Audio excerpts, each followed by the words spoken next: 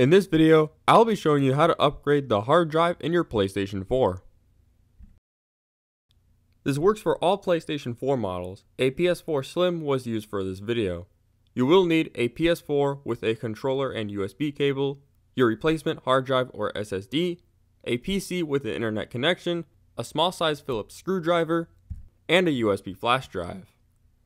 First, go to PlayStation.com, I'll have a link in the description, scroll down to PS4 console reinstallation file, download it, it'll be about 1GB in size, go to your flash drive, make a folder called PS4, inside that folder, make a folder called Update, and place the PS4 update file inside that folder.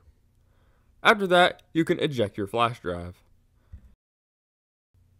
At this point, you can go to your PS4 and remove the cover for the hard drive. After removing the cover, you will see a screw that you will need to unscrew in order to pull out the hard drive. Once the hard drive is pulled out, there are two screws on each side, all Phillips. They will need to be unscrewed for the hard drive to be removed from the tray. Once the drive is removed, grab your new drive, or SSD, place it into the tray the same way as the old hard drive was, with the connectors facing the same way, screw them in, then you can slide the tray back in. Make sure to screw this screw back in, and then place the hard drive cover back on. Grab your flash drive you place the PS4's operating system on, plug it into your PS4, and then you can plug your PS4 into your TV and to power, then go ahead and turn it on. You'll get this screen when you turn it on. Connect your controller with the USB cable, then press the PS button. Scroll over, press OK. This will require some waiting. At this screen, press yes. Your new drive will begin initializing and your system will update.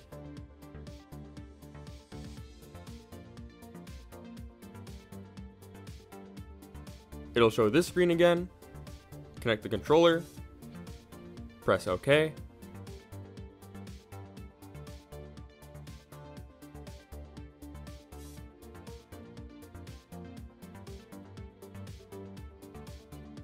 There are a lot of long loading bars, and your console will restart a few times. I did end up speeding up this footage for the purpose of making this video shorter.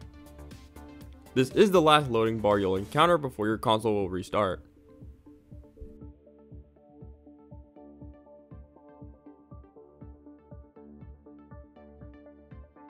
Once your console gets to this screen, you can go ahead and set it up, and that's pretty much it.